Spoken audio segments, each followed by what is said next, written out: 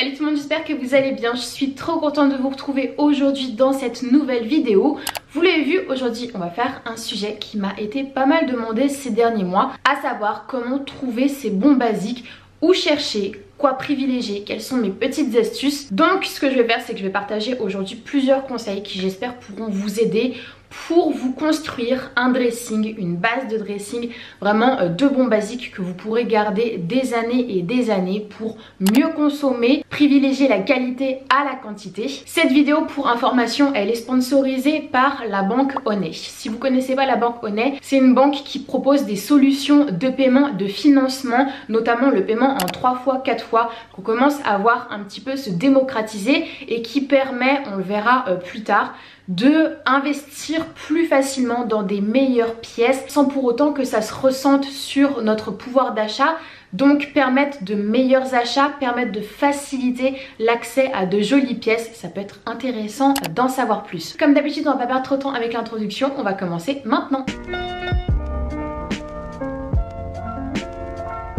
La première chose qu'il faut savoir en ce qui concerne les basiques, c'est que c'est vraiment la fondation d'un dressing. La pièce basique, on peut venir la mettre en opposition à une pièce tendance. Une pièce tendance, on sait qu'elle fait partie de l'actualité. On ne sait pas si elle sera encore d'actualité dans quelques mois, si on en voudra encore dans quelques mois. Alors que le basique, c'est une pièce qui a fait ses preuves. C'est une pièce qui est simple, qui se marie avec beaucoup de choses, qui a une coupe simple, une couleur simple de préférence et qu'on va pouvoir mixer au fur et à mesure des années. Donc si on mise vraiment sur la qualité, ça veut dire que le vêtement pourra vraiment très bien tenir et euh, rester dans le dressing voilà, à perpète. Maintenant, quelles sont les pièces qu'on considère comme un basique? Il y a plusieurs choses en fonction de ce qu'on considère comme étant plus ou moins important. Numéro 1, le t-shirt blanc, vraiment la base des bases. On pourra ajouter aussi son copain t-shirt noir, la chemise blanche aussi, c'est vraiment un intemporel de la garde-robe, féminine comme masculine, t-shirt blanc aussi également.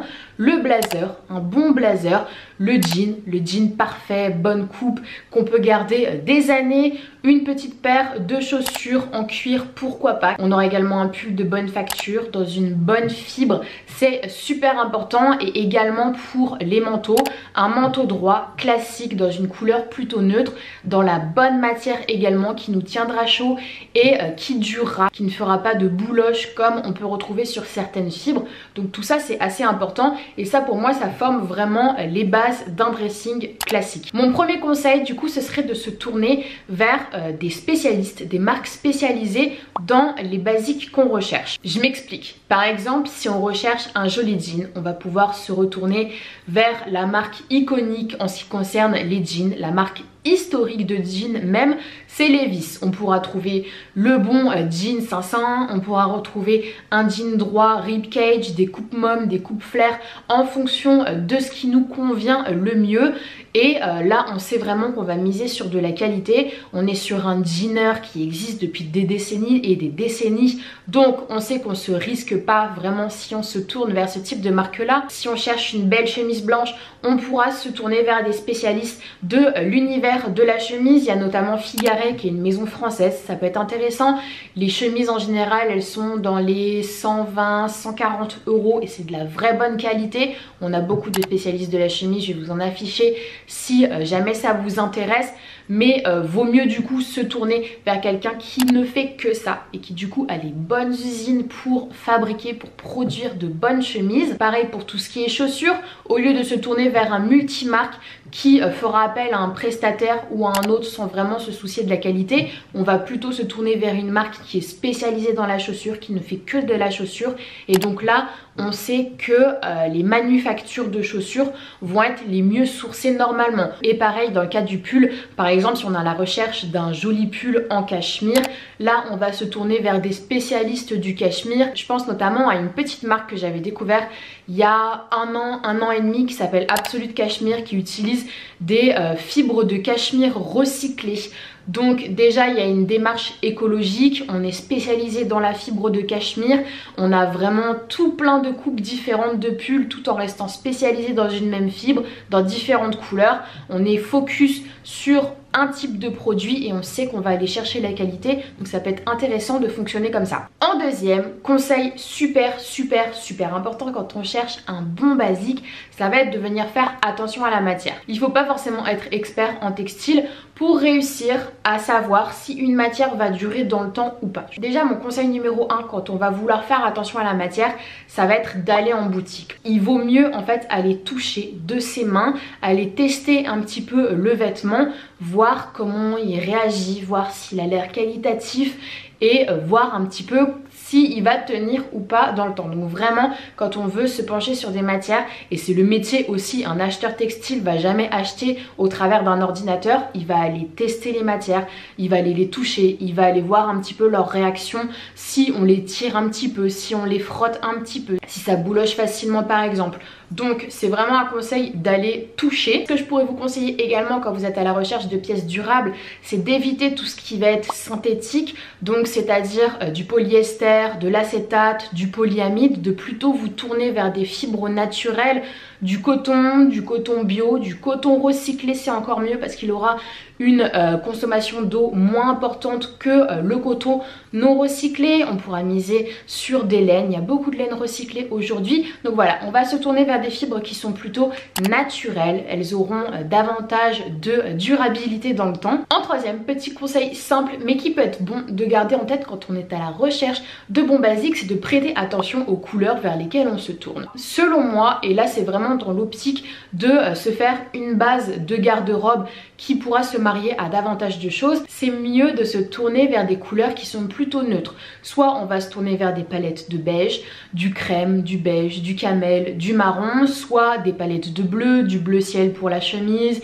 du bleu marine pour tout ce qui va être ce qui va être manteau également, on aura les noirs aussi. L'idée c'est tout simplement qu'on se lasse pas de la couleur, qu'on change pas en fait d'envie d'une année à l'autre, qu'on ait cette pièce là, on sait qu'elle est classique mais on sait qu'elle va pouvoir tenir dans le temps, qu'on va toujours l'aimer dans 5 ou 10 ans dans euh, l'idéal et euh, qu'on va pouvoir aussi la marier à des pièces un petit peu plus actuelles. Donc si vous investissez dans de beaux basiques, dans euh, des pièces que vous voulez durables, je vous conseille de miser sur des couleurs plutôt simples que vous allez pouvoir marier au gré du temps, au gré des années avec des pièces plus périssables éventuellement ou des pièces un petit peu plus funky ou alors des accessoires aussi. Mais ces pièces là, vous saurez que c'est un bon investissement, que vous en lasserez pas, que ça pourra rester dans le dressing et là vraiment on aura une vraie belle durabilité pour la pièce. En quatrième, le fait de chercher de bons basiques, ça peut aussi nous donner l'opportunité de prêter attention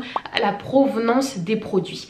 C'est un sujet qui est un petit peu nébuleux parce que c'est pas toujours évident de savoir vraiment où sont produits euh, les vêtements qu'on achète. Il y a beaucoup de marques qui jouent la transparence sur le sujet, donc ça peut être intéressant de se tourner vers des marques qui ont vraiment une belle transparence sur euh, les usines de production, là où elles produisent.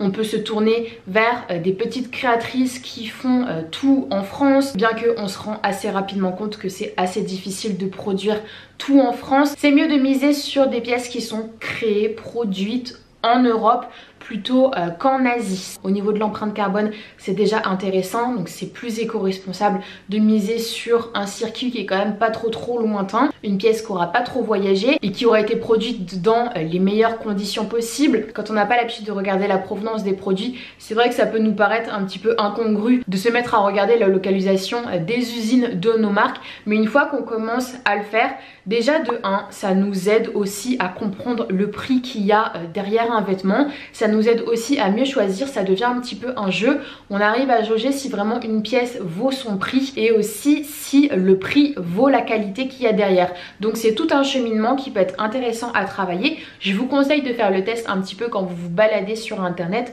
Regardez où sont produits les vêtements, vous pourrez avoir des surprises bonnes comme mauvaises. Le cinquième conseil que je pourrais vous donner pour trouver de bons basiques, ça serait de se tourner vers des coupes qui sont plutôt intemporelles et surtout vers des coupes qui vous vont. Par exemple, dans le cadre du jean, je sais que c'est un petit peu le saint graal de trouver le bon jean qui a la bonne coupe. C'est pas toujours évident de trouver ce jean qui est bien cintré au niveau de la taille, qui est pas trop serré au niveau des hanches, qui est bien serré en bas. Enfin bref, il y a tout plein de critères qui varient en fonction de nos morphologies et donc autant de morphologies il y a, autant de critères il y a pour trouver son jean. Ce que je vous conseille dans ce type de cas là, c'est justement de faire attention à votre morphologie. De là, on va trouver vous pouvez des types de jeans. Je prends encore l'exemple du jean qui sont censés le mieux nous aller. On va aller les essayer, on va faire des tests et on va, j'espère, mettre le doigt sur cette fameuse pièce qu'on va pouvoir garder longtemps.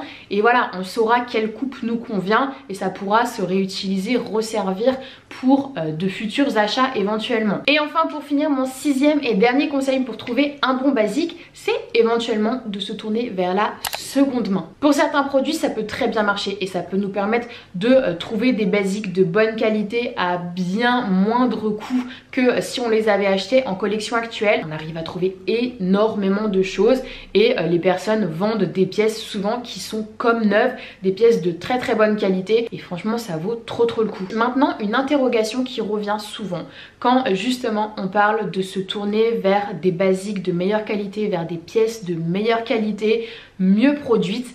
La question c'est celle du coût. Forcément, si on est sur de la meilleure qualité, on est plus cher. Et tout ça pour de multiples raisons. Si on produit mieux dans des pays où euh, le respect des ouvriers est meilleur, forcément la main d'œuvre coûte plus cher. Si on mise sur des matières qui sont euh, plus nobles, forcément la rareté de la matière ou d'une fibre de qualité coûtera plus cher qu'une fibre issue de la pétrochimie et qui est en polyester et qui polluera plus. C'est tout plein de choses à prendre en compte derrière un prix. Il y a tout plein de justifications normalement. Et euh, donc ça peut malheureusement être un frein pour de nombreuses personnes, notamment moi, quand euh, on vient à devoir faire une décision en ce qui concerne un achat.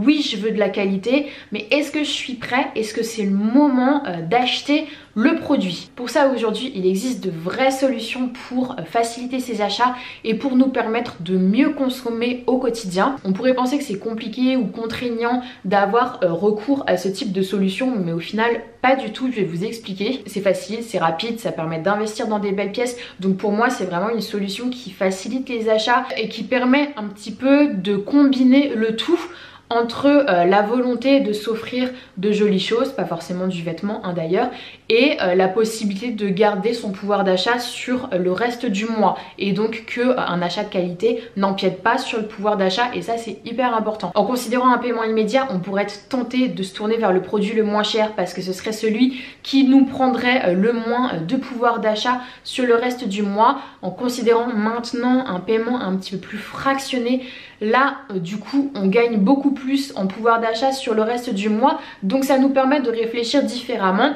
Et euh, moi concrètement depuis qu'il y a ce type de solution qui existe, ça me permet aussi de mieux consommer, d'avoir des articles qui sont moins périssables. Donc au final c'est un espèce de cercle vertueux. Donc pour vous faire le topo, la banque Honey fonctionne euh, sous forme de partenariat avec différentes enseignes, que ce soit directement en boutique ou sur internet. Ils ont des partenariats avec showroom privé, avec VP, avec Bazar Chic, donc des experts en fait de l'outlet, de l'épuisement d'anciennes collections. Ils sont aussi en partenariat avec Vestiaire Collective qui fait partie des piliers de euh, la vente de seconde main de luxe. Donc ça aussi, j'aime beaucoup qu'on puisse avoir cette opportunité là. Ça peut nous donner envie de euh, s'acheter des pièces de très bonne qualité qui sont déjà de seconde main. Donc c'est plus éco-responsable.